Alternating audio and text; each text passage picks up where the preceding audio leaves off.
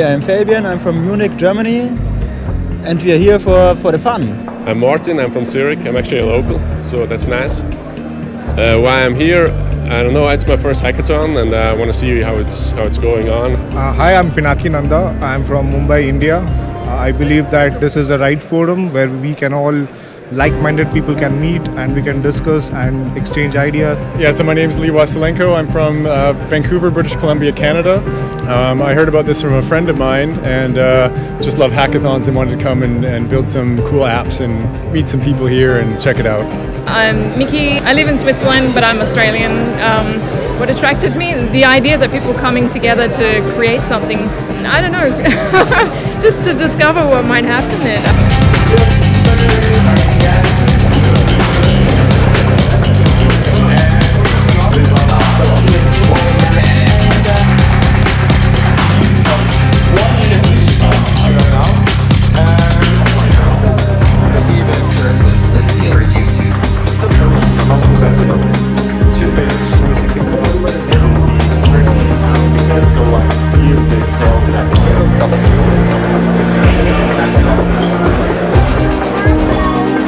So Hack is really a platform. We bring tech enthusiasts from all over Europe here to Zurich. Most of them have never met before. They form teams of two to four people, have 40 hours time to build a prototype. And we inspire them with our workshops, with awesome technologies and APIs, but they are also free to work on their own idea. And I'm running this project here for the hackathon where they have the task to do some real-time data recognition to, to understand where the car is basically and have the best strategy. The challenge is to have real-time data recognition as the data pours in. Our idea is about events and following up. So events are something that happen and you need a way to follow up afterwards you can store these events basically to yourself and then later you can even try to find the ones that you missed. Our idea is loseorfade.com. This is basically a motivation to lose weight. It's really, really important to stay motivated and nothing actually motivates you more than paying money for not losing weight. So if you're gaining weight, you have to pay money. If you lose it, you win. Our idea is using regular smartphones like everybody has to use those smartphones to create a virtual reality application uh, based on browsers. So you actually just open a web page and you launch a, a, virtual reality application just in your browser. You have to get along with people very quickly and you have to make it work very soon.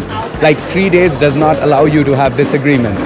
And also the other hard part is staying up for three days, coding straight for 40 hours. That is quite fun, but it is also challenging.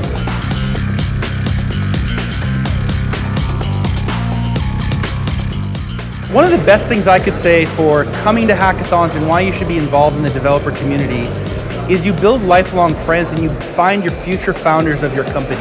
If you're coming to a hackathon, you're basically doing the right thing. Like going to a hackathon, meeting other likewise minded people and, and collaborate on a project on a 40 hour scale is it's pretty much the same as what you have to expect when you're working at a company like Google. If anything, I think that if you look at Twitter, if you look at Facebook, if you look at all of the big kind of internet products that we use every day, they were all built overnight. Twitter was a hackathon. It started at a company hackathon. Facebook was Mark in his dorm room building it in a weekend. GroupMe was started at a hackathon and then later sold. These sorts of weekend projects where you're just kind of messing around and building something simple that you like end up turning into the really big internet companies. We're super excited to be here at Hack Zurich. This is one of the most amazing hackathons I've ever been to. The amount of organization, the level of engineering quality that we have at this event. Hack Zurich is unbelievably cool, one of the coolest hackathons I've ever been to, and I've been to many all over the world. I would highly encourage anybody anywhere in Europe to come to this this thing next year because I mean this is the first year and look what it looks like. I can't wait to hopefully come back next year.